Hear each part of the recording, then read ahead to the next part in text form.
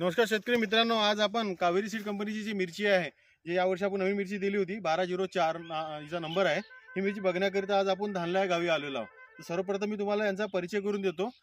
भैया आपका थोड़ा सा नाम बताइए जोरों से सबको सुनने में जाए ऐसा नाम जोरों से वेंकटराव बरस पूर्णेनी अपना गांव कौन सा आता है? धानला. धानला आता है. तालुका इसका कौन सा आएगा ना- अं, जिल्हा नागपूर तहसील मौदा. तहसील मोदा.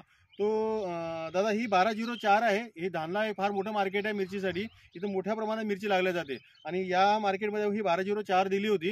तर हे प्लॉट बघण्याकरता आज आपण आलेलो आहोत. आज आपला हा डिसेंबर लागलेला आहे पंधरा तारीख आहे. अं, ही कुठल्या महिन्यात लागली होती आपली हे? सव्वा महिन्यात. किती पॅकेट लावली होती?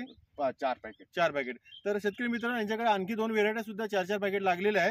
तर त्यापेक्षा ही व्हेरायटी कैसी लगी आपको? अच्छे अच्छे लगे। उससे भी? उससे भी अच्छा। ज़्यादा थोड़ा हो रहा है अच्छा तो माल ज़्यादा निकल माल, रहा है? माल भी जाता निकल। और मिर्ची भी लंबा। मिर्ची भी लंबा है?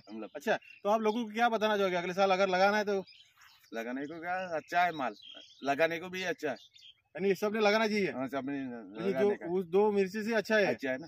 तर बघा शेतकरी मित्रांनो अं, स्वतः स्वतः दादा खुश आहे बारा झिरो चार लावूनपासून. आणि त्यांचं असं म्हणणं आहे तुम्हाला का जर मिरची जर लावायची असेल तर कावेरीचे बारा झिरो चार या वाहनाची तुम्ही निवड करा. आणि धानला मार्केटमध्ये जर ह्या मिरचीची निवड पास झाली याचा अर्थ मिरची फार सुंदर आहे आणि उत्पादनाला सुंदर आहे कारण धानला मार्केट हे मिरचीच्या नावासाठी ओळखल्या जाते. नागपूर मार्केटमध्ये मोदा धानला कोदामिंडी अरोली हे जे मार्केट आहे हे मेन मार्केट आहे मिरचीचे. या मार्केटमध्ये या मिरचीला पसंती आलेली आहे याला ओके झालेलं आहे. लोकांचं म्हणणं आहे की सुंदर व्हेरायटी आहे. पुढच्या वर्षी जर तुम्हाला मिरचीची लागवड करायची असेल तर कावेरीचं बारा झिरो चार या वाहनाची निवड करा आणि आपलं उत्पादन विक्रमी उत्पादन घ्या. धन्यवाद.